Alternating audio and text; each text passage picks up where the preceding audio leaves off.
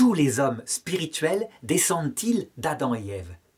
Eh bien je dirais que pour l'Église catholique, il y a là un repère dogmatique.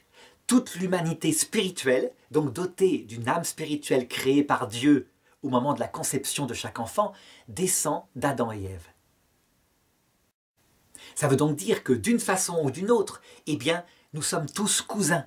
Nous descendons de ce premier couple, puisque l'Église affirme que c'est eux, les patriarches de l'humanité, qui se sont d'ailleurs engagés personnellement, par leur péché originel, pour que nous naissions libres, séparés de cet amour envahissant de Dieu qu'ils estimaient un obstacle à la liberté adulte. C'est le péché originel. Donc voilà ce que dit le repère dogmatique. Et ensuite, parce que nous sommes catholiques, parce que nous sommes confrontés à nous servir de notre raison, eh bien il faut se confronter aux sciences.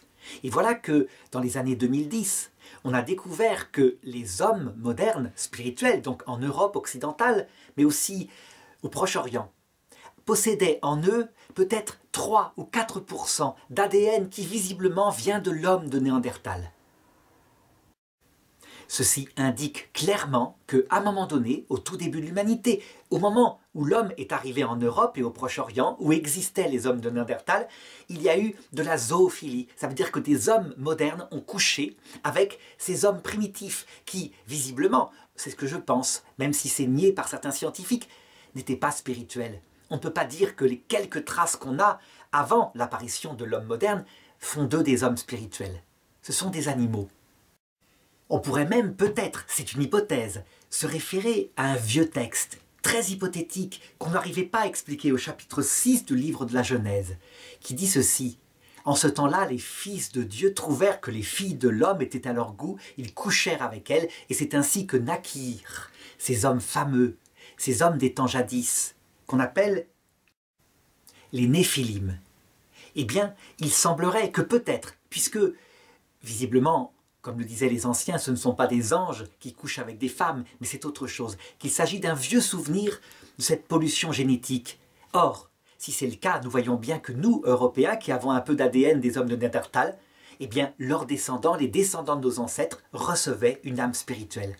Ce qui semble donc indiquer que, véritablement, d'Adam et Ève sont descendus tous les hommes spirituels, y compris lorsqu'il y avait pollution génétique avec une espèce animale. Alors, je voudrais mettre en garde. Ce que je dis là est complètement hypothétique. Je dirais que la théologie catholique, elle fonctionne ainsi. Science et foi doivent marcher ensemble comme deux affectionnés. Certains diront, mais ils mélangent science et foi. Non, ils marchent ensemble. La science, elle constate qu'il y a eu pollution génétique. La foi, elle a des repères très sûrs. Et donc, elle essaye de confronter les choses.